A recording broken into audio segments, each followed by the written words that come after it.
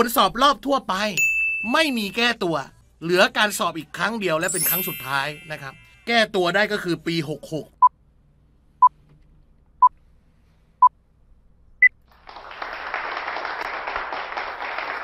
ก่อนอื่นก็ขอกล่าวคำว่าสวัสดีนะครับ ว่าที่ข้าราชการครูเอกต่างๆนะครับนะที่เข้ามารวมตัวกันในวันนี้นะครับนะอาจารย์คิดว่าน่าจะมีหลากหลายเอกเลยนะครับ วันนี้เป็นภาคกอคณิตศาสตร์ครับ สามารถใช้สอบครูผู้ช่วยได้ สามารถใช้สอบกอพอได้นะครับ ก็ขออนุญาตเช็คเสียงพวกเราหน่อยนะครับนะพวกเราได้ยินเสียงอาจารย์ชัดเจนไหมครับ ถ้าได้ยินชัดเจนกด 55 มาหน่อยครับนะ ถ้าได้ยินชัดเจนนะครับ กด 55 มาให้หน่อยนะครับนะ เดี๋ยวเช็คเสียงก่อนเดี๋ยวไม่ใช่ว่าพูดไปพูดไปจะหมดคลิปอยู่แล้วนะครับนะยังไม่ได้ยินเสียงอะไรเลยนะครับนะใครได้ยินเสียงกด 55 หน่อยนะครับนะกด 55 เข้ามาหน่อยนะครับ ถ้าใครได้ยินเสียงชัดเจนนะครับ เสียงชัดเจนไหมภาพชัดเจนไหมนะครับนะกด 55มาให้หน่อยนะครับนี่อาจารย์เทพมาวันนี้ สวัสดีครับ สวัสดีครับนะอ่าใครได้ยินเสียงชัดเจนกด 55 เข้ามาหน่อยนะครับนะอ่าอยากจะรู้ว่าพวกเราได้ยินเสียงอาจารย์ชัดเจนไหมนะครับ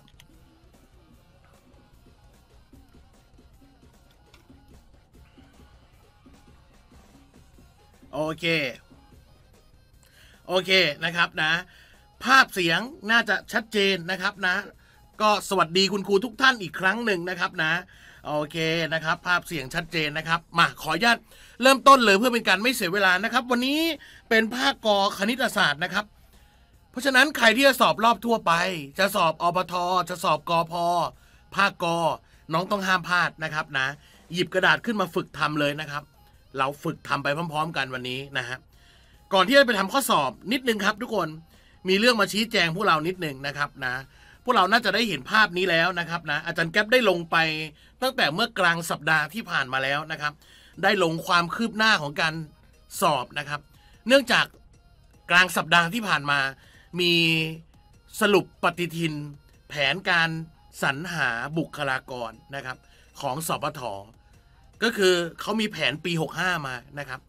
เป็นที่ฮือฮาหลายคนมากนะครับว่า โอ้แล้วมันจะมีเปิดสอบเมื่อไหร่หลายคนงงมากๆนะครับ วันนี้อาจารย์แก๊ปขออนุญาตมาสรุปให้กับพวกเรานะครับ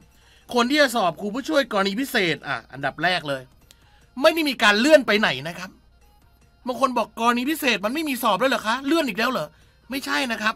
กรณีพิเศษปี 64 นะครับน้องๆครับครูผู้ช่วยกรณีพิเศษปี 64 มีการสอบธรรมดาปกติ ตามปฏิทินที่ได้ พสต์ไปเมื่อก่อนหน้าก็คือวันที่ 11 ธันวานะครับ 11 ธันวาจะมีการสอบครูผู้ช่วยกรณีพิเศษนะ อันนี้เป็นทางการแล้วนะครับนะบางคนบอกแล้วประกาศที่ผ่านมาไม่ใช่ อันนั้นเลื่อนจากวันอ่าวันที่เขาเลือกตั้งนะครับเขาเลือกตั้งอบตมันติดนะฮะติดก็มาเป็นวันที่ 11 นะครับ เพราะฉะนั้นใครจะสอบครูผู้ช่วยกรณีพิเศษ ไม่มีการเลื่อนนะครับ ไม่มีการเลื่อน สอบปกติครับวันที่ 11 นะฮะแล้วก็ปฏิทินปีหน้าก็คือปี 65 นะครับนะ จะมีการสอบครูผู้ช่วยรอบทั่วไปนะครับ รอบทั่วไป แต่เป็นปีการศึกษา 64 นะครับ 64 รอบทั่วไป สอบวันที่ 5 6 กุมภาพันธ์นะครับ อันนี้อยู่ในปฏิทินนะครับ ยังไม่ได้ประกาศออกมาเป็นอย่างทางการนะครับ อยู่ในปฏิทินของสปทนะครับนะ ต่อมาครับ เพราะฉะนั้น พูดตรงนี้ก่อนนะครับ ของปี 64 เนี่ยจะจบแค่นี้นะครับ แล้วถ้าทุกคนดูในปฏิทินดี ๆ นะครับครูผู้ช่วยกรณีพิเศษปี 65 นี่บางคนงงมากเลยว่าเอ้ยแล้วมันมันสอบยังไง ก็ปีถัดมาไงครับปีถัดมา พอจบ 64 เสร็จนะครับ ปีถัดมาก็มีการสอบฮะปี 65 อัตรากำลังได้เขียนไว้แล้วครับ สอบวันที่ 10 กันยา ปลายปีหน้าปี 65 ต่อมาครับ รอบทั่วไป จากปฏิทินล่าสุดนะครับ รอบทั่วไปไม่มีการสอบนะฮะรอบทั่วไปปี 65 อันนี้คุณครูที่นั่งฟังอยู่แยกให้ออกนะครับว่า ไอ้ที่กูสมัครไปที่ผ่านมาเนี่ยนะครับนะขออนุญาตใช้คำที่ไม่สุภาพนิดนึงนะไอ้ที่กูสมัครไปที่ผ่านมาเนี่ย มันของปีไหนนะครับ มันของปี 64 นะครับ ไม่เกี่ยวกันนะครับนะครูผู้ช่วยปี 65 ไม่มีการเปิดสอบนะครับ จากปฏิทินล่าสุด ไม่มีการเปิดสอบ นั่นหมายความว่าอะไรครับ คุณครูครับ คุณครูที่ไม่มีสิทธิสอบกรณีพิเศษ คุณครูเพิ่งจบปีห้าคุณครูเพิ่งจบอ่ากำลังจะจบรอบนี้ ปีหน้าจะไม่มีการเปิดสอบรอบทั่วไปนะฮะในปีปีปฏิทิน 65 นะครับ จากปฏิทินที่แจ้งมาบางคนบอกมันจะไม่มีการสอบจริงเหรอคะอาจารย์คะจากปฏิทินไม่มีครับ เพราะฉะนั้นพี่จะให้เทคนิคน้องนิดเดียวครับ ถ้าปี 64 กุมภาพันธ์คนสอบได้น้อย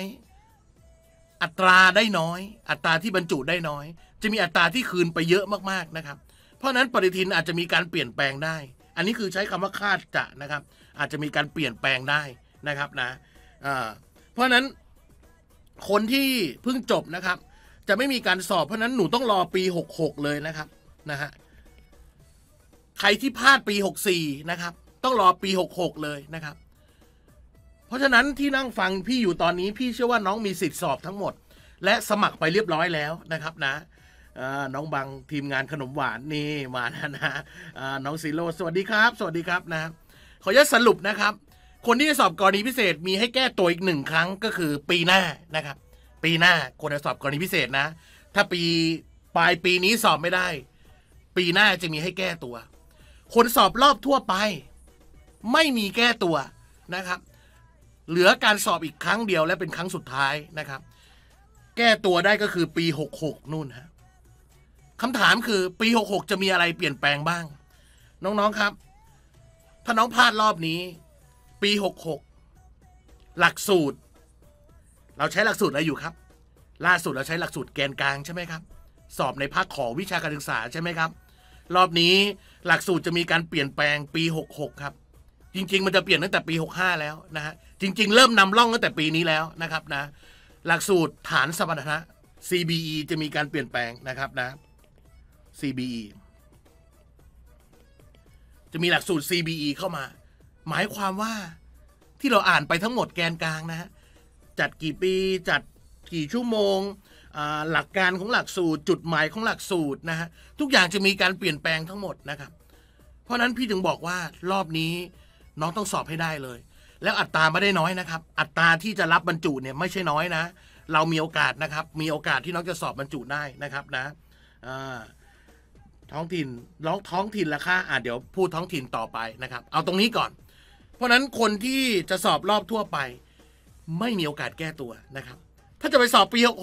66หลักสูตรจะมีการเปลี่ยนแปลงนะครับ กฎหมายจะมีการเปลี่ยนแปลงนะฮะและนี่ยังไม่นับเรื่องกอพออีกนะครับ แต่ต้องใช้คะแนนกอพอไหม มีคะแนนกอพอแล้วต้องไปยื่นตามโรงเรียนไหม อันนี้เราต้องไปวัดเอาข้างหน้านะครับ ว่าสอบผ่านกอพอเสร็จเอาคะแนนกอพอไปยื่น ต้องสอบภาคขอให้ผ่านด้วยหรือไม่นะครับ ผ่านแล้วจะมีกระบวนการอะไรบ้างหนึ่งสองสามสี่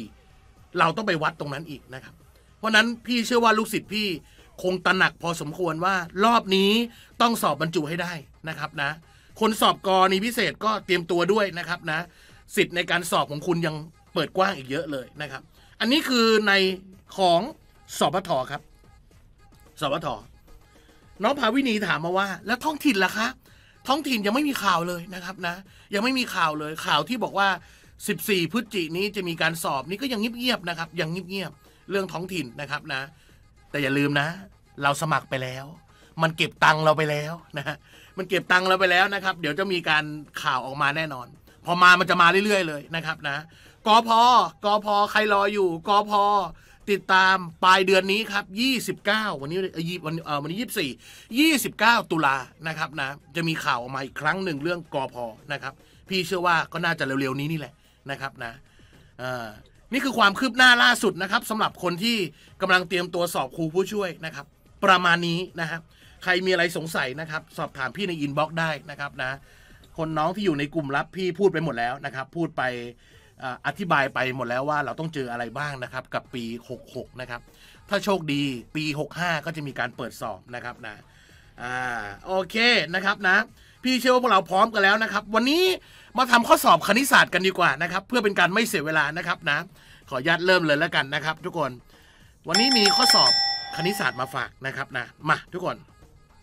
ทำกัน บอกแล้วนะหยิบกระดาษขึ้นมาจดนะ หยิบกระดาษขึ้นมาทดเลขนะไม่ต้องมาจดหรอกทดเลขนะครับ เดี๋ยวชีตตัวนี้จะมีการแจกด้วยนะครับนะ เอาไปฝึกอีกครับ เดี๋ยวแจกด้วยนะครับ แต่ตอนนี้หยิบกระดาษขึ้นมาทดพร้อมกันก่อนนะครับทำได้ข้อไหนพิมพ์คำตอบเข้ามานะครับนะ แล้วเหมือนเดิมคุณครูครับ เหมือนเดิม ทุกคนเจอหน้าอาจารย์แก๊ปเนี่ยอาจารย์แก๊ปต้องเอาโจทย์พวกนี้มาให้พวกเราลองทำนะครับนะสองข้อทุกสัปดาห์นะครับสองข้อนะสองข้อทุกสัปดาห์ บางคนบอกอาจารย์ทำไมไม่ติวคณิตศาสตร์เลยล่ะคะ ทุกคนข้อสอบเนี่ยมันออกข้อสอบนะ มันออกข้อสอบทุกปีนะครับ ถ้าครูผู้ช่วยแล้วเนี่ยสี่ถึงห้าข้อทุกปีนะครับ คุณครูต้องฝึกครับ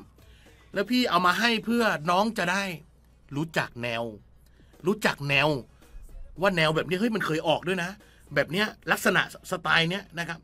ไม่ใช่เจอข้อสอบทำอยู่วิธีเดียวไม่ได้นะ เจอข้อสอบบางคนเนี่ยทำอยู่วิธีเดียวทำไงฮะบางคนดูสองสิบสามสิบใช่ไหมบางคนเจอข้อสอบเนี่ยทำอยู่วิธีเดียว บวกเพิ่มขึ้นแปดใช่ไหมบวกเพิ่มขึ้นยี่สิบทำอยู่วิธีเดียวอะบางคนอะพี่บอกลูกศิษย์ประจำว่า ข้อสอบสไตล์เนี้ยมันไม่ได้ง่ายขนาดนั้นนะครับ มันไม่ได้ง่ายเหมือนตอนที่น้องไปเปิดตามหนังสือทั่วๆไปอะบวกสองบวกสองบวกสอง ตัวต่อไปบวกเท่าไหร่ตัวต่อไปบวกสิบเพราะมันเพิ่มขึ้นสองโอ้โหน้องไม่เจอหรอกครับนะมโนอย่างนั้นนะนะมโนฮะข้อสอบจริงไม่ค่อยออกแบบนั้นหรอกครับ ไม่เคยเจอแบบนั้นสักทีนะฮะอย่างนี้เขาเรียกมโนนะฮะมโนนะฮะเออเพราะนั้นไม่ออกหรอกครับ มันจะออกแบบนี้แหละครับ นี่ แบบที่เอามาให้ดูเนี่ยครับ มาใครทำได้เท่าไหร่พิมพ์คำตอบเข้ามาเลยนะครับ นะอ่ามาทุกคนครับ เริ่ม สมมติทุกคนทำปากกาแดงนะครับนะ บางคนทำปากกาแดงบวกแปดบวกยี่สิบตัวต่อไปบวกเท่าไหร่ล่ะครับ บวกเท่าไหร่ครับครูครับอ่าเอ๊บางคนเอ๊มันบวกแปดบวกยี่สิบแล้วมันจะบวกเท่าไหร่ยังไงต่อไป เลขมีแค่สามตัวฮะเห็นไหมเลขมีแค่สามตัวนะครับ อ่าของคุณพาพาครูพานุวัฒน์อ่าขอบคุณมากครับที่แท็กเพื่อนนะครับนะ ขอบคุณมากครับ ขอบคุณมากๆ ขอบคุณน้องๆทุกคนเลยนะครับ ที่แท็กเพื่อนนะครับนะ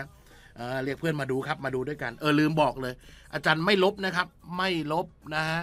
เออเดี๋ยวปักหมุดตรงนี้ไว้ก่อนนะครับ ไม่ลบนะครับ ทุกคนน้องสามารถ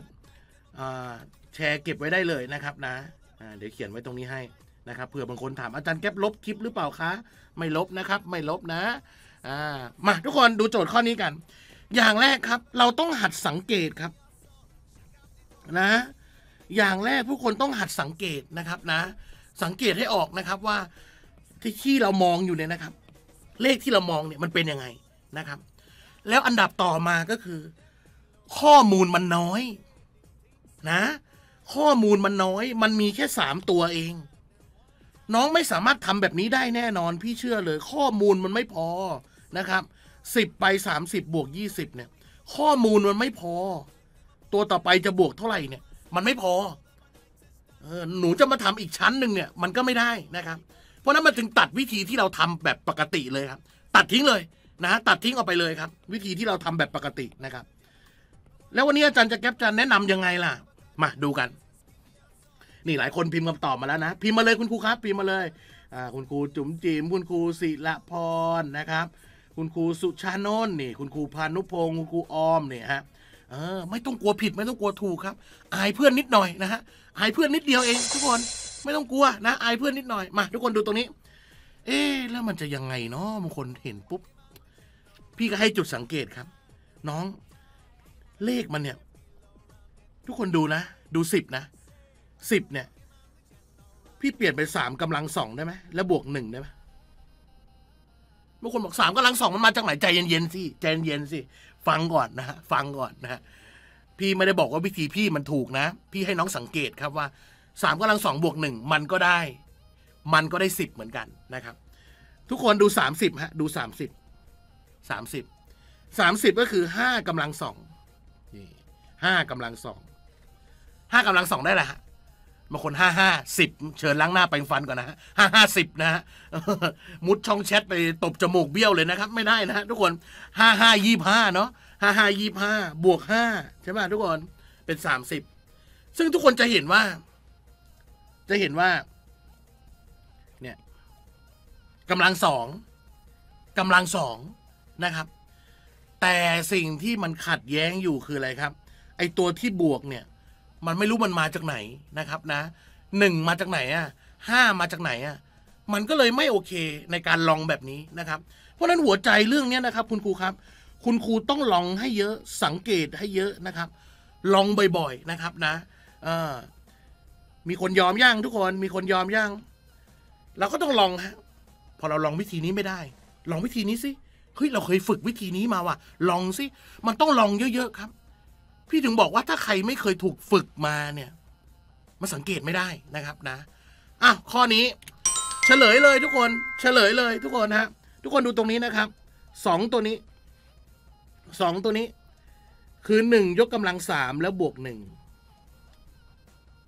อ่ามีใครจะตอบไหมมีใครจะตอบไหมครับนะหนึ่งกำลังสามแล้วบวกหนึ่ง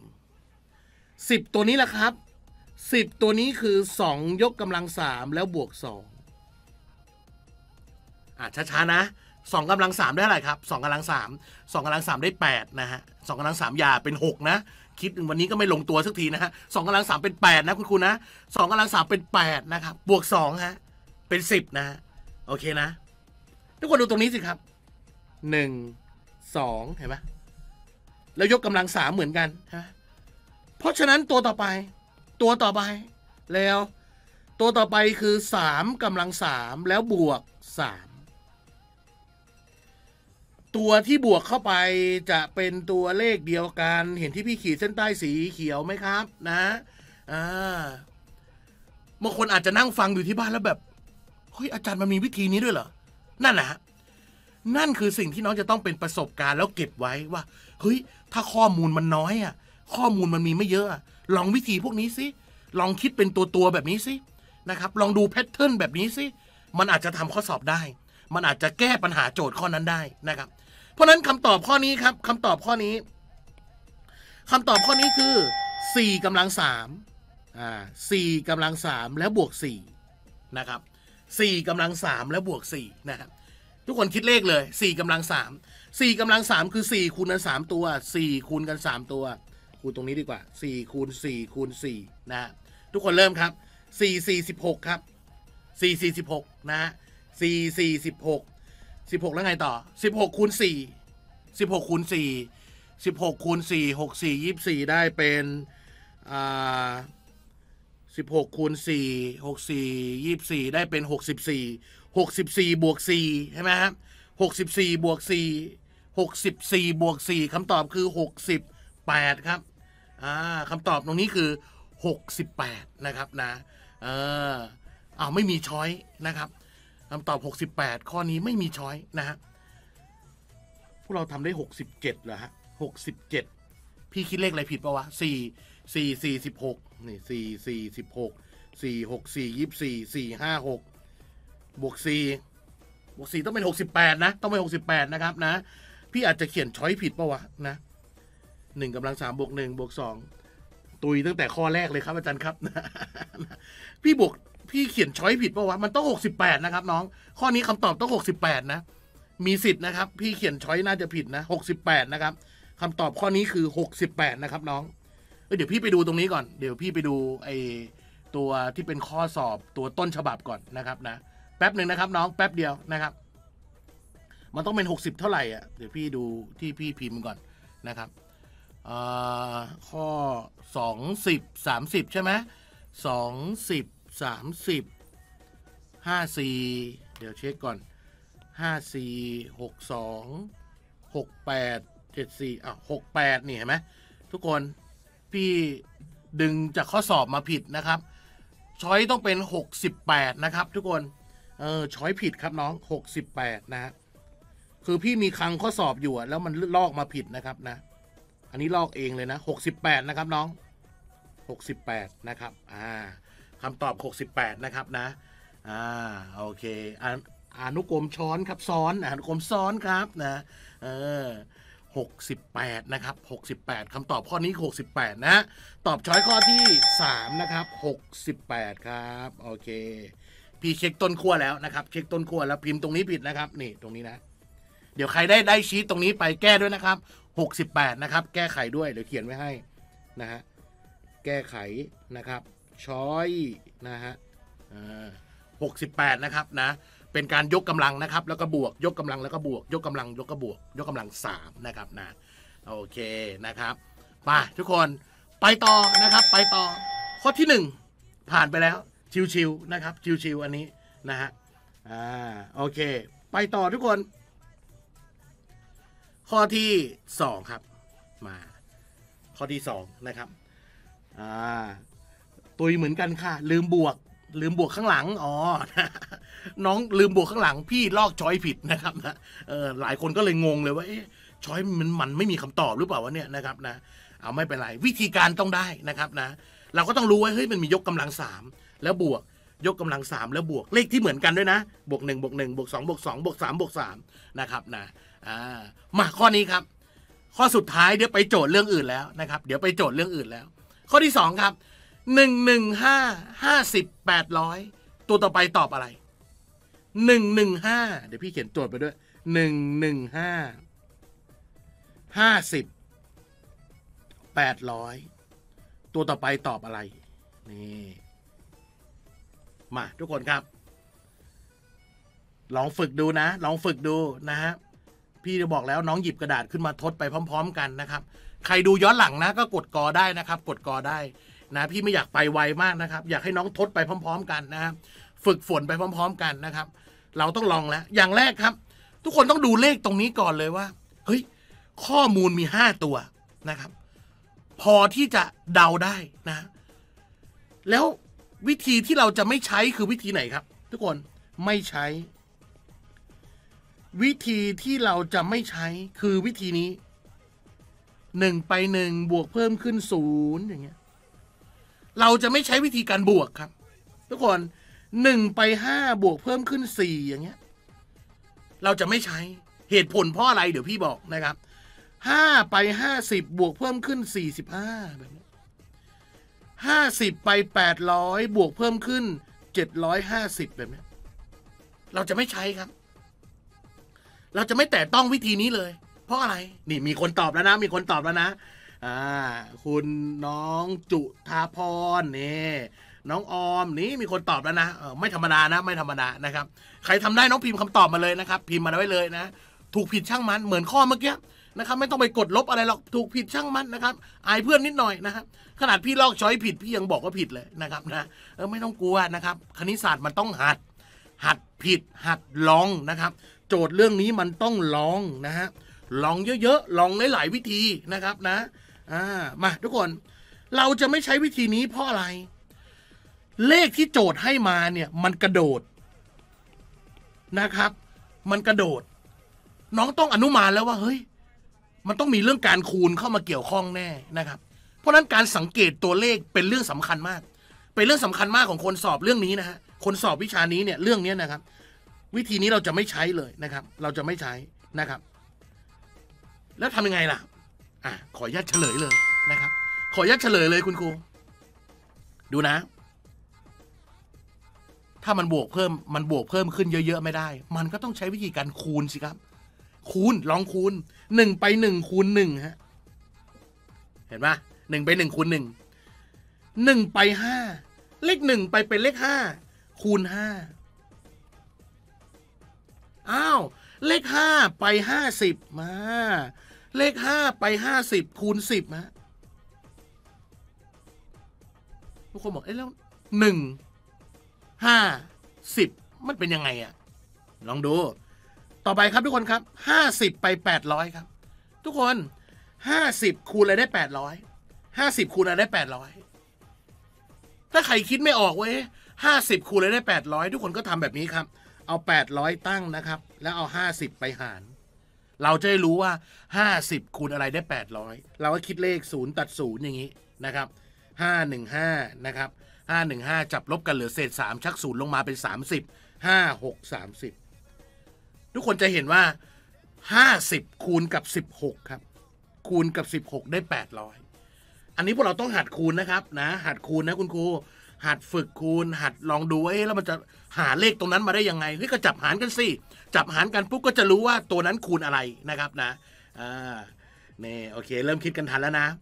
ทุกคนดูจากช่องแชทได้เลยครับ ถ้าน้องตอบช้ากว่าช่องแชทนะน้องไม่ต้องรอพี่นะครับ ถ้าน้องตอบช้ากว่าช่องแชทเนี่ยโอกาสเสี่ยงวันสอบเนี่ย เสี่ยงสูงแล้วเสี่ยงอะไรคะเสี่ยงที่จะทำข้อสอบไม่ทันครับ เสี่ยงมากครับนะฮะน้องดูช่องแชทถ้าน้องยังตอบไม่ทันช่องแชทเนี่ยครับน้องเสี่ยงมากนะฮะเสี่ยงที่จะทำข้อสอบไม่ทันวันสอบนะครับนะ มันมันมีเวลาจำกัดนะ คุณครู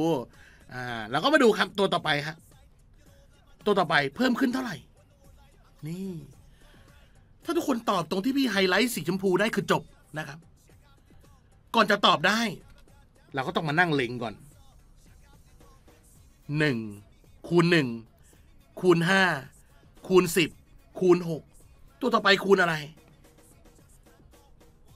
ดูยังไง นี่ทุกคนครับเร็วเลขหนึ่งนะครับ ไปเลขห้าเนี่ย มันบวกเพิ่มขึ้นสี่เลขห้าไปเลขสิบเนี่ย มันบวกเพิ่มขึ้นห้าดูความสัมพันธ์ของตัวเลขนะฮะสิบไปห้าบวกเพิ่มขึ้นห้านะครับสิบไปหกบวกเพิ่มขึ้นหกเพราะฉะนั้นตัวต่อไปเนี่ยทุกคนตัวต่อไปเนี่ยต้องเพิ่มขึ้นเจ็ดแน่นอน อันนี้มันเบสิกที่สุดแล้วเบสิกที่สุดแล้ว บวกสี่บวกห้าบวกหกต่อไปก็บวกเจ็ดนะฮะบวกเจ็ดเพราะฉะนั้นคุณครูทุกคนก็เอาสิบหกครับ แล้วบวกเจ็ดเข้าไปสิบหกบวกเจ็ดก็เป็นเท่าไหร่อะสิบหกบวกเจ็ดเป็นยี่สิบสามเพราะฉะนั้นตรงนี้ก็ต้องคูณยี่สิบสามคูณยี่สามคำตอบก็เลยเป็นแปดร้อยคูณกับยี่สิบสามนี่ แล้วก็คูณเลยนะครับแปดร้อยคูณกับยี่สิบสามใครที่อยู่ในกลุ่มขนมหวานอยู่แล้วเนี่ย ไม่ต้องตั้งคูณเลยศูนย์สองตัวใส่ปั๊บ ใส่รอไว้ ท่องแม่แปดแปดสามยี่สี่ใส่สี่ทดอะไร ทดอะไรช่างมันแล้ว ข้อนี้ลงท้ายด้วยสี่ร้อยแล้วนะครับ ลงท้ายด้วยสี่ร้อยแล้วคำตอบข้อนี้ ลงท้ายด้วยสี่ร้อยมีช้อยข้อเดียวฮะตอบช้อยข้อที่สามครับโอเคไหมครับนี่คุณครูออยขอบคุณเยี่ยมมากเลยนะครับนะ คุณครูสุพนันโอเค ถูกต้องช้อยข้อสามอ่าข้อสามหมดเลยนะ โอเค คุณครูนพพร คุณครูเบียร์คุณครูชายนี่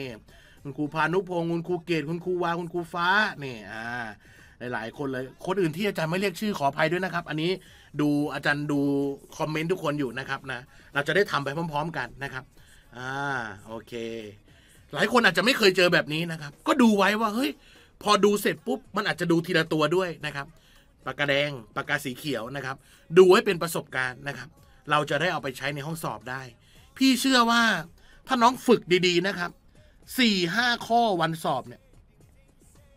เก็บคะแนนเต็มได้ไม่ยากนะครับ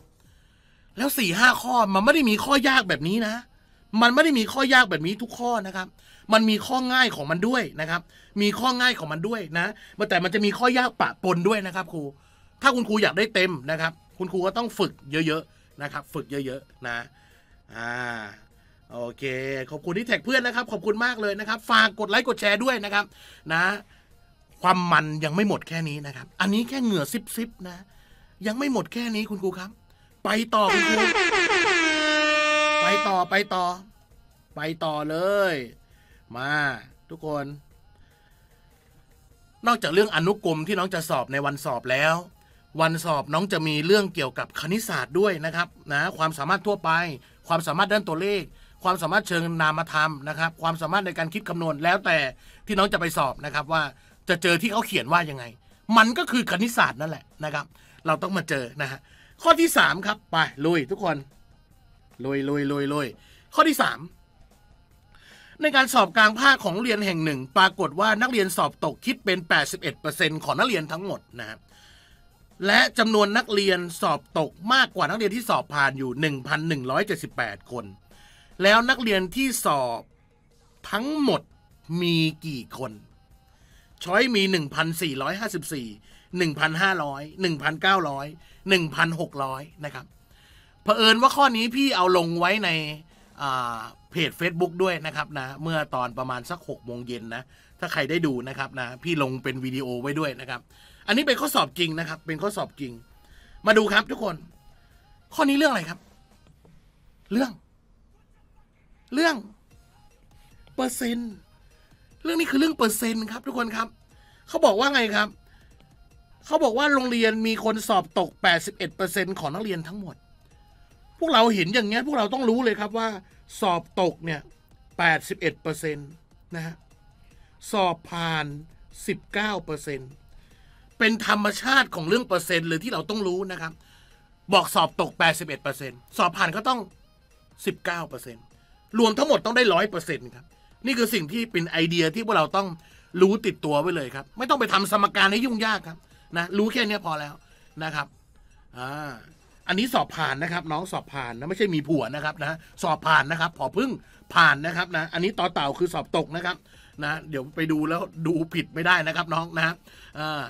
สอบตกสอบผ่านเท่านี้นะครับ สมมติเราไปเจอในวันสอบ ส้มเน่า 20%เห็นไหมส้มเน่า 20%แสดงว่าส้มที่ไม่เน่าก็ต้อง 80%นะครับนี่คือการทำข้อสอบคณิตศาสตร์เรื่องเปอร์เซ็นต์นะครับ ต่อมาโจทย์ให้อะไรมาอีกครับนี่ดูที่พี่ไฮไลท์สีเขียวเขาบอกว่าจำนวนนักเรียนที่สอบตก มากกว่า ขีดเส้นใต้เลยทุกคนเห็นไหมมากกว่านักเรียนที่สอบผ่านอยู่เท่านี้นะฮะหมายความว่าอะไรฮะเขาบอกคนสอบตกเนี่ยมีมากกว่าคนสอบผ่าน อันนี้ถูกต้องไหม ถ้าใครนั่งฟังพี่แล้วไม่เมากาวเนี่ยทุกคนครับ ถูกต้องแน่นอนเพราะอะไร เนี่ย คนสอบตก 81%คนสอบผ่าน 19%สอบตกก็ต้องย่อมมากกว่าสอบผ่านอยู่แล้วนะครับ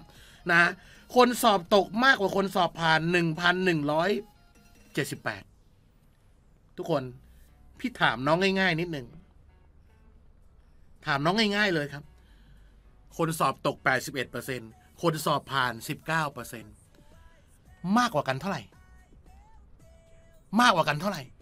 คำว่ามากกว่ากันโหเจอบ่อยมากนะคำว่ามากกว่ากันคือเอามาลบกัน คุณครูก็เอา 81ลบ19 ได้เลยครับนะฮะเอามาลบกัน 81ลบ69 ได้เท่าไหร่อะเอ่อลบ1ลบ8เป็น 72 เป็น 62 นะครับนะคนสอบตกมากกว่าคนสอบผ่านอยู่ 62เปอร์เซ็นเราคิดแบบนี้ได้เลยนะครับนะ คุณครูสุพนันขอบคุณครับ 62เออเนี่ย เราดูตรงนี้ได้เลยครับ ไม่ต้องไปนั่งตั้งสมการ x y z ได้เสียเวลา แล้วเขาบอกว่าไงครับ คนสอบตกมากกว่าคนสอบผ่าน 1,178 คุณครูก็เอา 62 เนี่ย มันมากกว่ากันอยู่แล้วใช่ไหมเอาไปเทียบกับ 1,178 ได้เลยนะครับ แล้วเราก็ตั้งเป็นตรงนี้ได้เลยครับ นะ ใครที่นั่งทำอยู่ทางบ้านเนี่ยต้องตอบแล้วนะครับ แล้วพี่เห็นหลายคนตอบแล้วถือว่าเยี่ยมมากนะครับนะเขาเรียกว่าไวกว่าค่าเฉลี่ยนะครับ อันนี้พี่แก๊ปพูดคือต้องให้น้องหลายคนที่อาจจะไม่เข้าใจทำให้ทันด้วยนะครับ พี่แก๊ปขออนุญาตพูดกลางๆนะ ใครทำได้แล้วทำยาวๆไปนะครับนะ ไม่ต้องรอนะครับนะ เอออะทุกคน พอน้องเทียบแบบนี้แล้วทำยังไงต่อครับ ถ้าน้องอยู่ในคอร์สขนมหวานของพี่เนี่ย ข้อนี้ทำไงต่อ เอาหกสิบสองหารตลอดนะฮะ เพื่อให้มันเหลือหนึ่งเปอร์เซ็นจริงไหมหกสิบสองหารตลอดเลยครับ แล้วก็เอาหนึ่งพันหนึ่งร้อยเจ็ดสิบแปดตั้ง หารด้วยหกสิบสองตอนน้องหารเนี่ย ทุกคนนะลองหารพร้อมกันเร็ว ทุกคนหารพร้อมกัน เอาแม่สองตัดก่อนก็ได้แม่สองสองตัดหกสิบสองได้สามสิบเอ็ดสองตัดหนึ่งพันหนึ่งร้อยเจ็ดสิบแปดครับ เอาแม่สองไปตัดสองห้าสิบเหลือเศษหนึ่งสิบเจ็ดสองแปดสิบหกลบกันเหลือเศษหนึ่งอีก ชักแปดลงมาเป็นสิบแปดสองเก้าสิบแปดข้างล่างได้สามเอ็ดข้างบนได้ห้าร้อยแปดสิบเก้าคุณครูถ้าใครไม่ได้คิดเลขหรือว่านั่งกดเครื่องเลขเครื่องคิดเลขเองเนี่ยนะครับ เราต้องมีเซนส์นะครับ อย่างตรงนี้เนี่ย ทุกคนครับสามสิบเอ็ดเนี่ย คูณอะไรฮะได้ห้าร้อยแปดสิบเก้าคูณอะไร อย่างแรกคุณครูดูตัวลงท้ายฮะเดี๋ยวพี่ซูมให้แล้วกันเนาะเดี๋ยวซูมให้ คือตอนทดเลขทุกคนต้องมีเซนส์ ทุกคนดูตัวลงท้าย แสดงว่าตัวที่คูณกับสามสิบเอ็ดเนี่ย มันต้องลงท้ายด้วยเก้าแน่คำถามครับคำถามเก้าเฉยๆได้ไหมเก้าเฉยๆได้ไม่ได้ทุกคนลองคูณดูสิครับเก้าเฉยๆเก้าสามยี่สิบเจ็ดมันก็ได้แค่สองร้อยกว่าๆนะฮะสองร้อยกะกะลูกศิษย์พี่จะรู้จักสองร้อยกะกะนะครับ เพราะฉะนั้น มันจะคูณกับเก้าเฉยๆ ไม่ได้ แสดงว่าสามสิบเอ็ดตัวนี้ต้องคูณกับสิบเก้าสิบเก้ามันจะได้ห้าร้อยแปดสิบเก้านะครับ เซนเรื่องการคูณเลขต้องได้นะครับนะเพราะนั้นตรงนี้คุณครูต้องตัดเลยปั๊บเลยปุ๊บปุ๊บเลยนะครับ ตรงนี้ได้หนึ่งครั้ง ตรงนี้ได้สิบเก้าเพราะฉะนั้นหมายความว่าหนึ่งเปอร์เซ็นของคุณครูมีค่าเท่ากับสิบเก้าคนนะครับ ที่เหลือโจทย์ถามอะไรก็ง่ายแล้วคุณครู คำถามครับ โจทย์ถามอะไร นักเรียนที่เข้าสอบมีทั้งหมดกี่คน ทุกคนเขาถามทั้งหมดกี่คน ทั้งหมดคือร้อยเปอร์เซ็นถูกต้องไหมฮะหนึ่งเปอร์เซ็นเท่ากับสิบเก้าเพราะฉะนั้นร้อยเปอร์เซ็นจะมีค่าเท่าไหร่ เอาร้อยคูณตลอด หรือเติมศูนย์เข้าไปสองตัว ก็ตอบ 1,900 ได้เลย เพราะฉะนั้นคนทั้งหมดที่เข้าสอบคือ 1,900 คนครับ เยี่ยมมากทุกคนครับ ตอบช้อยข้อที่ 3 ครับ หลายคนมาจากคอร์สขนมหวานอยู่แล้วนะครับนะ ไหนขอแสดงตัวหน่อยสิใครมาจากคอร์สขนมหวานนะฮะอ่าใครมาจากคอร์สขนมหวานขอแสดงตัวหน่อยแล้วนะครับอยากรู้นะครับนะ คือคอร์สขนมหวานวันนี้ไม่ได้มีติวนะครับนะฮะวันนี้ไม่ได้มีติว อาจารย์เชื่อว่าน้องๆ มาเก็บความรู้นะครับ มาเก็บความรู้มาเขาเรียกเก็บเก็ดเล็กเก็ดน้อยนะครับนะใครอยู่คอร์สขนมหวานไหนแสดงตัวไหนกดหนึ่งหน่อยก็ได้อะขนมหวานกดหนึ่งหน่อยสิชาวขนมหวานนะครับ หมู่บ้านขนมหวานกดหนึ่งหน่อยนะนะไหนเช็คเช็คสมาชิกหน่อยครับ หมู่บ้านขนมหวานกดหนึ่งหน่อยนะครับนะอ่าเราอยากรู้ครับว่าใครมาจากขนมหวานบ้างนะครับนะ ขนมหวานกดหนึ่งหน่อยแล้ว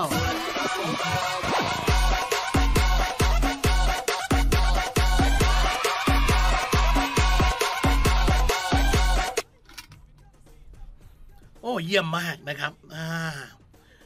ต้องบอกว่าในกลุ่มขนมหวานวันนี้เราไม่ได้มีติวเนาะนะครับ อันนี้มาเก็บความรู้นะครับ มาเก็บเก็ดเล็กเก็ดน้อยนะครับ ถือว่าเยี่ยมมากครับน้องๆ ถือว่าเยี่ยมมาก ถือว่ามาสนุกกันนะครับนะวันนี้เป็นการติวฟรีนะครับน้องๆ วันนี้เป็นการติวฟรีอ่าคุณครูจิรนันคุณครูสองคุณครูพีรพัฒน์คุณครูศิลการนะคุณครูว่านี่คุณครูจันจิลา คุณครูแซมอ่า คุณครูสุพนันนี้คุณครูฟ้านี่โอเคคุณโรสนะครับโอเคโอเคนะครับนะอ่าน้องบางน้องบางฝึกน้อย ข้อสอบยากฝึกมากข้อสอบง่ายนี่เป็นทัศนคตินี่ถือว่าเยี่ยมมากนะครับ ไปทุกคนไปต่อไปต่อนะครับ ข้อสอบนี้ใช้เวลาไม่นานนะนะเออถ้าใครฝึกดีๆเนี่ยทุกคนไม่ยากเลยทุกคนครับไม่ยากเลยนะอ่า ใครอยากเป็นครอบครัวขนมหวานนะครับ พิมพ์คำว่าสนใจไว้นะครับนะสนใจอะไรไม่รู้แหละนะครับ เดี๋ยวทีมงานเขาทักเองนะครับนะ พิมพ์คำว่าสนใจไว้นะครับนะเเรามีคอร์สเยอะเลยนะครับ คณิตศาสตร์แยกนะครับ วิชารวมนะฮะใครจะสอบกรณีพิเศษ วิชารวม ใครจะสอบรอบทั่วไปวิชารวมก็มีนะฮะวิชาแยกก็มีนะครับ ไปถามทีมงานเอานะครับ แค่พิมพ์คำว่าสนใจลงใต้คอมเมนต์ไว้นะครับนะเดี๋ยวมีทีมงานตอบกลับไปเองนะครับนะ แล้วก็ไปถามทีมงานเอานะครับ ว่ารายละเอียดเป็นยังไงนะครับ พี่ขออนุญาตไม่พูดตรงนี้นะครับนะอะทุกคนข้อที่สี่ครับ ข้อที่สี่ฟาร์มเลี้ยงหมูเป็ดและไก่ไว้เพื่อจำหน่ายอ่าเมื่อนับจำนวนสัตว์ทั้งหมดพบว่ามีหมูและไก่คิดเป็น 30%และ 25%ของจำนวนสัตว์ทั้งหมด นี่ทุกคนขีดเส้นใต้ไว้เลยนะครับ ของจำนวนสัตว์ทั้งหมด ตามลำดับนะครับ และมีจำนวนเป็ดมากกว่าจำนวนไก่ 400 ตัว แล้วฟาร์มแห่งหนึ่งมีทั้งหมดกี่ตัวนะโอ้โหทุกคนถ้าใครฝึกดีๆ เนี่ย ข้อนี้แทบไม่ต้องทดเลยนะครับ น้องน้องออมตอบแล้ว กูยังไม่ทันพูดจบเลยไหมน้องออมตอบแล้วนะฮะคุณครูเบียโอเค เดี๋ยวมีทีมงานทักไปนะครับ น้องนะเดี๋ยวค่อยทักก็ได้นะครับนะ เอาติวก่อนนะฮะแค่พิมพ์คำว่าสนใจไว้ให้เฉยพอนะครับนะ นี่ครูพานุพงศ์ตอบแล้วมาแล้ว ทุกคน พี่ให้ไอเดียแบบนี้ครับ ทุกคนดูที่พี่ไฮไลท์ตรงนี้ นี่ นี่ หมายความว่าอะไรคุณครูครับ หมายความว่าพอเราหลับตาเนี่ยนะฮะ พอหลับตาเนี่ยจำนวนสัตว์ทั้งหมดเนี่ย มันไม่กลมว่ะ เดี๋ยวเอาให้กลมก่อน สัตว์ทั้งหมด สัตว์ทั้งหมดนะฮะ พอน้องหลับตาเนี่ย น้องจะรู้เลยว่า ไก่เนี่ยนะฮะ หมูสิ เอาหมูก่อนแล้วกัน หมูเนี่ยนะ หมูหมูหอมออูหมูหมูสามสิบเปอร์เซ็นของทั้งหมดนะฮะไก่ยี่ห้าเปอร์เซ็นของทั้งหมด สมมติพี่เขียนอย่างนี้อะยี่ห้าเปอร์เซ็นของทั้งหมดนะคือคนที่ฝึกการดูโจทย์มาเนี่ยนะครับ จะรู้ว่าเขาพูดแค่สัตว์สามตัวคือหมู เป็ด ไก่ หมูไปแล้วอะเป็ดลืมเขียนว่าเอ้ยไก่ลืมเขียนไก่อะไก่ ไก่ไปแล้ว นะครับ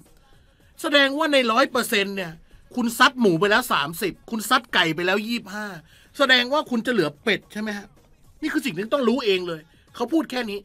เป็ดเท่าไหร่ฮะเป็ดก็ต้องทั้งหมดมันร้อยเปอร์เซ็นต์นะครับซัดไปแล้วสามสิบซัดไปแล้วยี่ห้าแสดงว่าซัดไปแล้วห้าสิบห้าเปอร์เซ็นต์ก็ต้องเหลือเท่าไหร่ครับสี่สิบห้าเปอร์เซ็นต์นี่คือสิ่งที่ต้องรู้โดยอัตโนมัติเลยว่า อ๋อ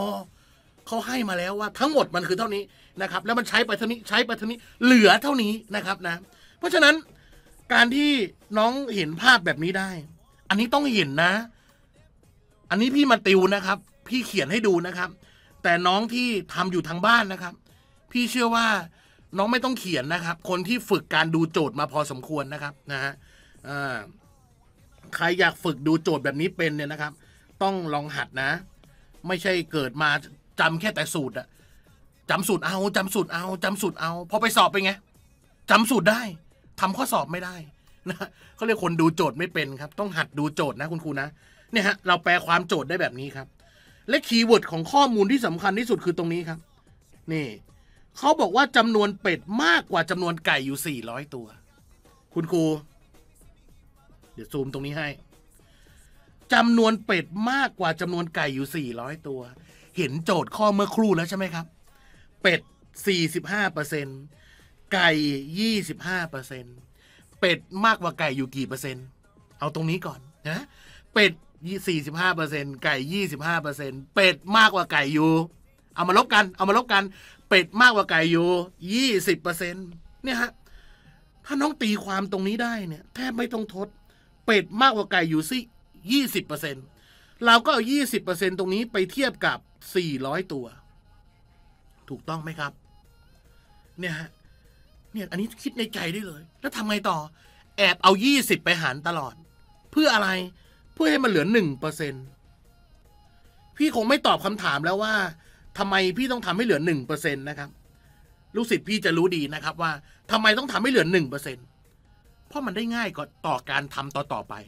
ต่อไปโจทย์จะถามอะไรมันก็ง่ายนะครับ การทำหนึ่งเปอร์เซ็นต์นะครับนะ อ่าเอายี่สิบหารตลอดแล้วก็ได้สี่ร้อยหารด้วยยี่สิบเห็นไหมครับ ทุกคนตัดเลขเลยใช่ไหมแล้วมันไม่ได้ตัดยากเลยจริงไหมครับสองขึ้นไปตัดสี่สิบเป็นยี่สิบหนึ่งเปอร์เซ็นมีค่าเท่ากับยี่สิบนี่น้องฟ้าถือว่าเยี่ยมมากนะครับนี่โอเคนะครับนะ โอเคเออครูปิยดานี่สี่สิบห้าเปอร์เซ็นลบยี่ห้าเปอร์เซ็นต์ได้ยี่สิบเปอร์เซ็นต์ค่ะนี่นะครับ มันลบได้เลยฮะ ไม่ต้องไปนั่งทำสมการอะไรที่ยุ่งยากครับหนึ่งเปอร์เซ็นเท่ากับยี่สิบตัว โจทย์ถามอะไรอะ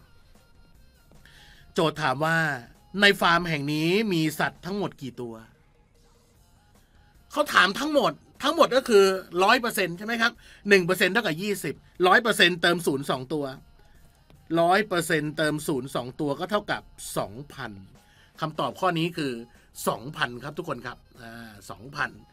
ตอบ choice ข้อที่สองฮะสองพันฝนฟับเลยคุณครูกนกวานย้อนหลังนะคะ กดแชร์ไม่ได้คุณครูครับ อันนี้เป็นติวฟรีนะ ไม่ลบครับ ไม่ลบ เดี๋ยวเอาไปลงใน YouTube ด้วยนะครับ ติวฟรีอันนี้เอาไปลงใน YouTube ด้วยนะครับนะอ่าโอเคโอเคนะครับนะ น้องๆที่พิมพ์สนใจไว้นะครับนะ เดี๋ยวทีมงานทักหานะครับนะ เดี๋ยวทีมงานทักหานะครับ แล้วสอบถามรายละเอียดให้หมดครับนะ แล้วอันดับแรกคือ ใครที่ยังไม่เคยฟังพี่ติวเลยนะครับ ไปดูใน YouTube ได้ ไปดูใน YouTube ได้นะครับนะ ไปฝึกฝนใน YouTube ได้นะครับ อาจารย์แก๊ปติวใน YouTube ไว้เยอะมากครับนะ ไปทุกคนข้อที่ห้าครับ ข้อที่ห้าเนี่ยครับนะใน YouTube เนี่ยใน YouTube เนี่ยนะครับ ใครที่ยังไม่มีทุนทรัพย์มากพอยังยังยังตัดสินใจไม่ได้ หรือว่ายังไม่มีงบประมาณอะไรนะครับ ไม่เป็นไรคุณครูครับ ดูใน YouTube ได้ พี่แก๊ปลงวิดีโอไว้ใน YouTube เยอะมากครับนะฮะเออยังไม่ต้องลงคอร์สเสียตังก็ได้นะครับ ดูใน YouTube ก่อนก็ได้นะครับนะเออฝึกฝนให้เยอะครับคุณครูต่อไปคือถ้าใครอยากชนะคู่แข่งอะครับ อยากชนะคู่แข่ง หรือถ้าน้องที่นั่งฟังอยู่ตอนนี้ หรือดูย้อนหลังอยู่ตอนนี้ ใครที่เป็นคนที่ไปติวที่ไหนก็ตาม แล้วชอบเจอแต่ว่าเอาสูตรไป เอาสูตรไปจำสูตรได้ได้นะเดี๋ยวจะทำข้อสอบได้ ใครที่เจอเหตุการณ์แบบนี้แล้วทำข้อสอบไม่ได้ น้องมาเจอพี่ถูกทางแล้วครับ พี่เป็นคนที่ให้ฝึกให้ดูโจทย์นะครับ สูตรลัดเดี๋ยวมีให้อยู่แล้ว มีให้เยอะครับสูตรลัดเนี่ยรอบเอวไปหมดครับ น้องจะเอาอะไรเป็นห่วงยางเลยเนี่ยสูตรลัดรอบเอวไปหมดนะมีให้เยอะครับ แต่ข้อสอบจริงมันไม่ได้ง่ายขนาดนั้นครับน้องข้อสอบจริงไม่ได้ง่ายขนาดนั้นนะครับนะอ่าใครที่เคยสอบจะรู้ดีครับนะใครเคยสอบจะรู้ดีว่า วันสอบจริงอะ สูตรลัดอะมันจะใช้ได้สักกี่ข้อนะครับ มันจะใช้ได้สักกี่ข้อวันสอบจริงอะนะครับ ถ้าน้องดูโจทย์ไม่เป็นมันก็ใช้ไม่ได้ครับ นี่คือสิ่งที่พี่ฝึกลูกศิษย์มาตลอดเวลานะครับ ข้อที่ห้าครับ หมู่บ้านวัดม่วง หมู่บ้านไหนเนี่ยวัดม่วงแถวบ้านพี่นะครับนะเลี้ยงหมูจำนวน 200 ตัว และเลี้ยงไก่จำนวนทั้งหมด 300 ตัว แล้วหมู่บ้านแห่งนี้มีไก่อยู่ร้อยละเท่าใดของจำนวนสัตว์ทั้งหมด ร้อยละเท่าใดของจำนวนสัตว์ทั้งหมดนะครับ ทุกคนไฮไลท์คำนี้ มีไก่อยู่ร้อยละเท่าใดของ พวกเราจำโจทย์นี้ได้ไหมครับ ร้อยละเท่าใดของ อะเดี๋ยวเผื่อบางคนอาจจะไม่ค่อยมีใครย้ำอะเดี๋ยวพี่ย้ำให้ ถ้าวันใดวันหนึ่ง น้องไปเจอโจทย์ A เป็น ร้อยละเท่าใด เท่าไรก็ได้ เท่าไรของ B วันใดวันหนึ่งคุณครูไปเจอโจทย์สไตล์แบบนี้ ซึ่งจะเจออยู่บ่อยครั้งมาก ๆนะครับนะ A เป็นร้อยละเท่าไหร่ของ B นะครับ หรือเราจะเรียกว่าตัวเนี้ย A เนี่ยนะครับ เรียก A ว่าคือตัวหน้า เดี๋ยวพี่ลบตรงนี้ก่อน เรียก A ว่าคือตัวหน้าก็คือตรงนี้นะครับ เรียก B ว่าคือตัวหลังนะครับ ถ้าเราไปเจอโจทย์สไตล์นี้ในห้องสอบเมื่อไหร่นะครับ ให้น้องเอาหน้าตั้งหารด้วยหลังแล้วคูณร้อยนะครับ เอาตัวหน้าตั้ง หารด้วยตัวหลังแล้วคูณร้อยนะครับ เพราะนั้นถ้าเราไปเจอโจทย์สไตล์นี้อีก เราก็เอา A ตั้งคือตัวหน้า หารด้วย B คือตัวหลังนะครับ แล้วก็คูณร้อยอาจารย์ทำไมต้องคูณร้อยอะร้อยละนี่เห็นไหม นี่น้องพานุพงศ์บอกโจทย์แบบนี้เจอบ่อยในเรื่องตารางถูกต้องเลยนะครับ เป็นกี่เท่าของเป็นกี่เปอร์เซ็นต์ของเป็นร้อยละเท่าไหร่ของ คุณครูจะเจอแบบนี้นะครับนะอ่าตรงนี้เปลี่ยนเป็นเปอร์เซ็นต์ก็ได้นะ เป็นกี่เปอร์เซ็นต์ของแน่น้องจะเจอแบบนี้นะครับ เอาหน้าตั้งหารด้วยหลังแล้วคูณร้อยนะครับ คูณร้อยเพราะว่าเรื่องเปอร์เซ็นต์นะครับอะแถมให้แถมให้ แถมให้กูดว่าแถมเนี่ยให้ไปหมดแล้วนะ ให้ไปหมดแล้วนะครับนะฮะจดให้ดีนะครับคุณครูนะฮะร้อยแล้วเท่าไหร่ของนะครับ บางครั้งบางคราวเราไปเจอ A เป็นกี่เท่ากี่เท่าของ B A เป็นกี่เท่าของ B นะครับ เหมือนเดิม เราก็จะมอง A ตัวนี้เป็นตัวหน้า เราก็จะมอง B ตัวนี้เป็นตัวหลังนะครับ ถ้าน้องไปเจอโจทย์ A เป็นกี่เท่าของ B วิธีการทำก็เหมือนเดิมครับ เอาตัวหน้าตั้งก็คือ A หารด้วยตัวหลัง แต่ไม่ต้องคูณ 100 เพราะเขาไม่ได้ถามเปอร์เซ็นต์นะครับนะเขาไม่ได้ถามเปอร์เซ็นต์เนี่ยฮะเพราะนั้นโจทย์ 2 อันนี้มีความเหมือนและมีความต่างกันในตัวอยู่นิดเดียวนะครับนะมีความเหมือนกับความต่างกันนิดเดียวนะครับเพราะฉะนั้น 2 แบบนี้ไม่เหมือนกันนะครับนะโอเค ต่อไปต่อไป มาดูกันฮะ นี่ ทุกคนเห็นตรงนี้ไหมครับ หมู่บ้านแห่งนี้มีไก่เห็นไหมฮะเป็นร้อยละเท่าใดของจำนวนสัตว์ทั้งหมดนะ เพราะฉะนั้นตอนเราอ่านโจทย์เราต้องรู้แล้วเฮ้ยไก่เป็นร้อยเท่าไหร่ ไก่คือหน้า เพราะฉะนั้นคุณครูทุกคนต้องเอาไก่ตั้งนะครับ เอาไก่ตั้ง ไม่ใช่ไก่ต้งไก่ตั้งนะครับ เอาไก่ตั้งแล้วหารด้วยหลัง หลัง หารด้วยหลัง หลังก็คือทั้งหมดอ่าทั้งหมดนะครับ ร้อยละเท่าไหร่คูณร้อยหน้าหารหลังคูณร้อยนะครับนะ เราก็คิดเลยแค่นี้เองคุณครูนะครับ จับต้นชนปลายจับหลักได้ก็ง่ายแล้วนะครับอ้าวไก่กี่ตัว ไก่สามร้อยเอาไก่สามร้อยใส่เข้าไป หารด้วยหลัง ทุกคนครับนี่ระวังให้ดีนะครับ หลังตัวนี้คือทั้งหมดนะครับ ทั้งหมดมันไม่ใช่ สองร้อยไม่ใช่สามร้อยนะครับ คุณครูทุกคนจะต้องเอามาบวกกันนะครับ ทั้งหมดเนี่ยเอาหมูบวกกับไก่เป็นห้าร้อยนะครับ ทั้งหมดคือห้าร้อยอยากทำเป็นเปอร์เซ็นต์จะจะขาดคูณร้อยเห็นไหมร้อยละเท่าไหร่ จบแล้วทุกคนครับ ตัดเลขครับนี่หลายคนตอบแล้วนะ ถือว่าเยี่ยมมากครับนะฝึกต้องแบบนี้ครับ การดูโจทย์ต้องแบบนี้ ต้องเฉียบคมแบบนี้นะครับนะ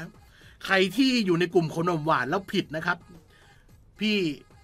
คิดเป็นสองเท่าเลยนะครับนะคิดเป็นสองเท่าเลยนะครับนะเออไม่ควรผิดนะครับ เรื่องแบบนี้ขนมหวานเรานะครับนะศูนย์ตัดศูนย์ตัดศูนย์ตัดศูนย์ห้าตัดหนึ่งร้อยห้าสองสิบศูนย์หนึ่งตัวเป็นยี่สิบคำตอบคือยี่สิบคูณสามนะครับยี่สิบคูณสามตอบหกสิบเปอร์เซ็นต์ฮะตอบช้อยข้อที่สองครับอ่า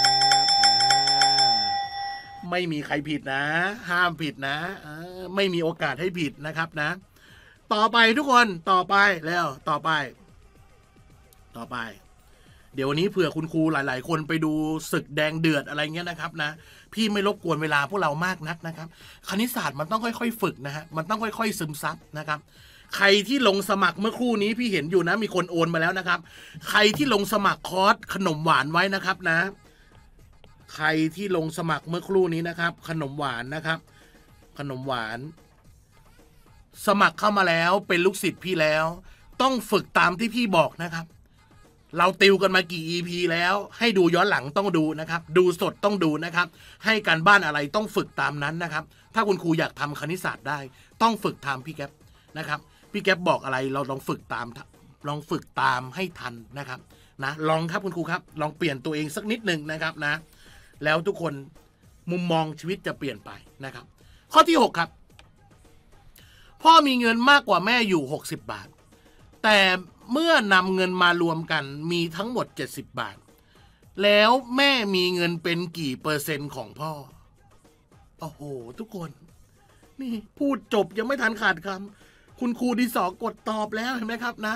นี่ นี่คุณครูพีรพัฒน์ตอบแล้วนะครับนะ นี่น้องพีรพัฒน์ถือว่าเยี่ยมมากครับนะหลายคนตอบแล้วนะครับนะ ทุกคนมา ตรงนี้ก่อน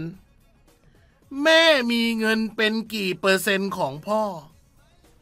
ทุกคนเห็นตรงนี้ไหมครับ แม่มีเงินเป็นกี่เปอร์เซ็นต์ของพ่อทำยังไง หน้าตั้งหารหลังคูณร้อย หน้าตั้งหารหลังคูณร้อยนะครับ เราก็เอาหน้าตั้งคือแม่ หารหลังคือพ่อนะครับ แล้วก็คูณร้อย หมายความว่าพวกเราทุกคนครับเราหาแม่ได้ว่ากี่บาท หาพ่อได้ว่ากี่บาท จับมันมาทำมาหารกัน แล้วก็คูณด้วยหนึ่งร้อยนะครับนะอ้าวแล้วก็คำนวณพร้อมกัน แล้วทุกคนไฮไลท์คือตรงนี้เลยครับ ทุกคนดูที่พี่ไฮไลท์สีชมพูครับ เห็นแล้วอย่าตกใจ พ่อมีเงินมากกว่าแม่บางคนเนี่ยหนักเลยนะครับ นี่คุณครูพานุพงศ์เรื่องจำนวนมากจำนวนน้อยนะครับ หลายคนเห็นครูพานุพงศ์พิมพ์แล้วจะงงครับว่า อะไรจำนวนมากจำนวนน้อย ก็คือเงินเนี่ยฮะพ่อมีเงินมากกว่าแม่ พ่อเนี่ยคือเป็นจำนวนมาก แม่เนี่ยเป็นจำนวนน้อยนะครับนะ เออเขาบอกว่าพ่อมีเงินมากกว่าแม่ก็คืออะไรครับ นี่เดี๋ยวพี่ตีข้างๆให้ พ่อมีเงินมากกว่าแม่สามสิบบาท ถ้าบางคนบอก x เป็นพ่อ y เป็นแม่เนี่ยนะครับ มันก็คือ x ลบ y เท่ากับสามสิบแล้วเมื่อนำเงินมารวมกันก็คือ x บวก y เท่ากับเจ็ดสิบทุกคน เมื่อไรที่ทุกคนเจอสมการนี้แล้วไปนั่งแก้สมการนะครับ ตายเลยนะครับ ตายเลยไปนั่งแก้สมการตายเลยครับ พี่แกบอกว่าไงบอกว่าไง สังเกตโจทย์จำนวนมากคืออะไรครับพ่อมีเงินมากกว่าแม่จำนวนมากคือเงินพ่อนะครับ เงินพ่ออยากหาเงินพ่อทำไงฮะ จับเลขสองตัวนี้บวกกันแล้วหารด้วยสองนะครับแล้วก็จับเจ็ดสิบกับสามสิบบวกกันครับ แล้วหารด้วยสองก็จะเหลือห้าสิบมันทัดเดียว อันนี้พี่ทศนี่ถือว่าเยอะแล้วนะจำนวนน้อยจำนวนน้อยจำนวนน้อยคือคนที่มีเงินน้อยนะครับ จากโจทย์มีแค่พ่อกับแม่ เงินน้อยก็คือแม่นะครับ หาแม่ยังไงครับ หาแม่ก็คือจับลบกันแล้วหารด้วยสองจับลบกันแล้วหารด้วยสอง เราก็เอาเจ็ดสิบกับสามสิบลบกันนะครับเจ็ดสิบสามสิบลบกันเหลือสี่สิบหารด้วยสองเหลือยี่สิบนะฮะคุณครูครับ ช่วยพี่แก๊ปคิดเลขด้วยนะครับนะฮะถ้าพี่แก๊ปคิดเลขตรงไหนผิดบอกด้วยนะครับ พี่เนี่ยคิดเลขสดๆนะครับ ไม่มีเขาเรียกไง ไม่มีไดอะล็อกนะครับ ทีมงานพี่นะครับนะ พี่คุณนุ่มครูจุ๋มครูตีครูเก๋นะครับ ไม่มีใครมีเฉลยอยู่ในตัวนะครับ ทุกคนพูดขึ้นเวทีเนี่ย ตอนสอนสดเนี่ยถ้าใครเคยดูนะครับ ขึ้นเวทีเนี่ย พวกพี่บรรยายกันสดนะครับ สดสดทั้งนั้นนะฮะเหมือนคิดเลขเนี่ยคิดสดสดนะครับนะผิดก็ผิดสดสดเหมือนกันนะครับนะ เพราะนั้นทุกอย่างเกิดจากวิธีคิดหมดเลยนะฮะวิธีคิดวิธีการมองโจทย์นะครับนะฮะเพราะนั้นคุณครูฝึกตามพี่ที่พี่บอกเนี่ยนะครับ ประสบความสำเร็จแน่นอนนะอ่าทุกคนได้แล้วครับ เงินมากคือพ่อห้าสิบเงินแม่คือน้อยคือยี่สิบนะครับ เราก็เอาทั้งหมดตรงนี้ไปใส่นะครับ ไปใส่อ่าเงินน้อยคือแม่ใส่เข้าไปยี่สิบเงินมากคือพ่อใส่เข้าไปห้าสิบจับคูณด้วยหนึ่งร้อยจบแล้วฮะ จบแล้ว คิดเลขหน่อย อ่าศูนย์ตัดศูนย์ตัดศูนย์ห้าคือไปตัดหนึ่งร้อยห้าหนึ่งห้าห้าสองสิบเป็นยี่สิบอีกแล้ว เจอบ่อยๆนะครับยี่สิบคูณสองก็เป็นเท่าไหร่ครับสี่สิบคำตอบข้อนี้คือ สี่สิบเปอร์เซ็นต์ฮะ ตอบจอยข้อที่สองใครที่นั่งฟังอยู่แล้วไม่เข้าใจนะครับ ว่าเฮ้ยห้าสิบมาจากไหนอะยี่สิบมาจากไหนอะน้องต้องไปหัดดูโจทย์เพิ่มเติมนะครับ เรื่องจำนวนมากจำนวนน้อยเขาเรียกว่าเรื่องเลขสองจำนวนนะครับ ต้องไปหัดดูโจทย์เนี่ย ฝึกสังเกตโจทย์ว่าเฮ้ยเขาดูกันยังไงว่า โจทย์แบบนี้คือเลขสองจำนวนนะครับ แล้วคำถามตรงนี้คือคำถามนะครับคำถามตรงนี้ เป็นร้อยละเท่าใดของ เป็นกี่เปอร์เซ็นต์ของ เราต้องไปหัดดูโจทย์เพิ่มเติม อย่าสักแต่ว่าจำสูตรนะครับนะสูตรเรื่องที่หลังสูตรมันคือเรื่องรองเลยครับ การดูโจทย์เป็นเรื่องสำคัญ คณิตศาสตร์แต่ละโจทย์ไม่เหมือนกันคุณครูครับ พี่ให้กันบ้านน้องๆไปฝึกนะครับ การดูโจทย์นะฮะอ่าวันนี้ก็มีประมาณนี้ครับ มีประมาณนี้นะฮะฝึกฝนนะฮะใครไม่เข้าใจตรงไหนสอบถามพี่หลังไม้ได้นะครับ หรือใครอยากได้เรื่องอะไรนะครับนะ ถ้าเป็นเรื่องที่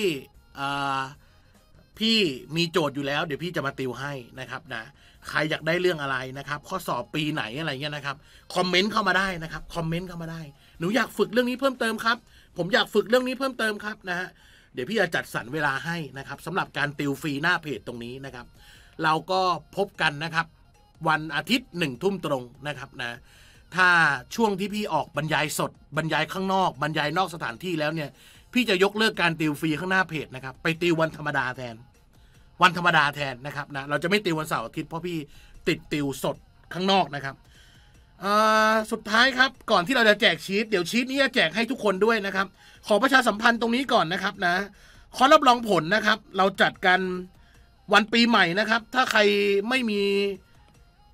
ไม่มีภารกิจจะไปไหนนะครับนะ ปีใหม่นะครับ เจอกันนะครับที่จังหวัดร้อยเอ็ดนะครับคอร์สรับรองผลนะครับคอร์สรับรองผลเจอกันที่จังหวัดร้อยเอ็ดนะครับนะ